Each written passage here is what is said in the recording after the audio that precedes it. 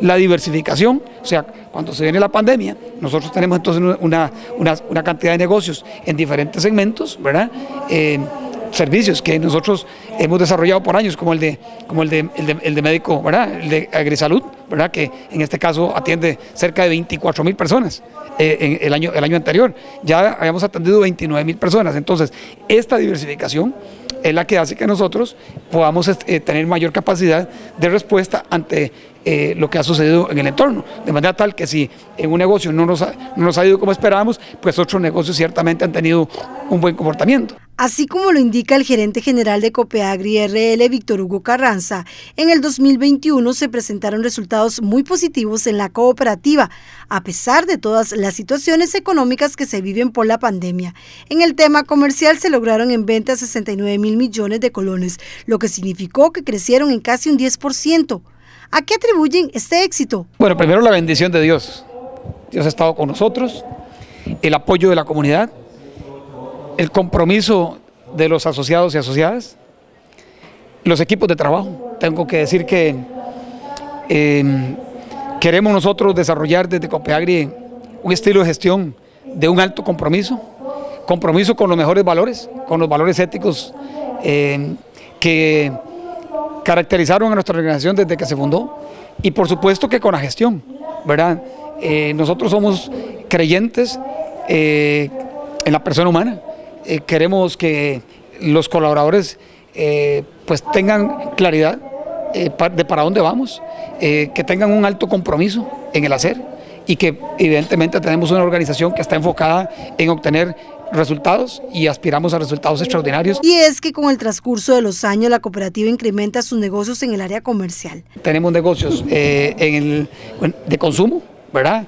le, puedo, le puedo mm, precisar Pejivalle, Palmares, Villalilla, el auto, en Sagrada Familia, Agrestor, el autoservicio que trabaja las 24 horas y San Luis, el supermercado central y que pues, eso es consumo, ¿verdad?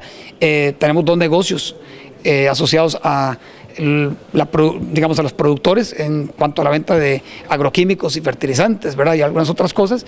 Esto en Palmares, en Buen Daniel Flores y en el centro de San Isidro. Tenemos una ferretería, contamos con un negocio, con una estación de combustible que tiene pues una serie de servicios. No solamente vendemos combustible, sino que también vendemos, pues básicamente estas unidades eh, son las, las tradicionales. Y, y ahora tenemos este, una, una venta en línea.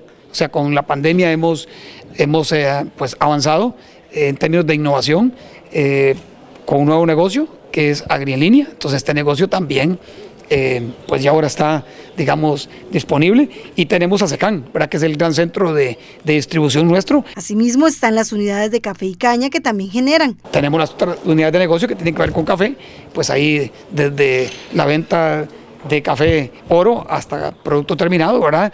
Eh, abono orgánico, ¿verdad? Como un gran, como un gran, este, pues, una gran unidad de negocio, 190 mil sacos de abono vendimos el año anterior, ¿verdad? Entonces, eh, esto, esto es, muy importante.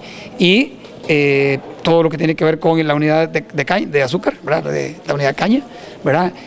pues ahí básicamente dos, digamos, tenemos dos, dos unidades, una que se dedica a industrializar, ¿verdad? El producto de los eh, productores, eh, en este caso asociados y productores independientes, ¿verdad? El año pasado 269 mil toneladas de caña y este, la caña propia, ¿verdad? Este, 269 mil toneladas de manera, de manera global, cerca del 52 productores y 48% caña propia. Para el gerente general, durante la pandemia se trató de mantener el empleo para no afectar a sus colaboradores. Hemos mantenido el empleo sea, Copeagri no realizó procesos de reestructuración durante el año. Sí hemos reorganizado las estructuras de trabajo, sí hemos este, tenido este, pues, digamos, una nueva forma de trabajar en muchos, casos, ¿verdad? El teletrabajo, eh, pero siempre, siempre teniendo eh, las metas muy claras, eh, rendición de cuentas, buscando la, mayor eficiencia posible y buscando resultados extraordinarios.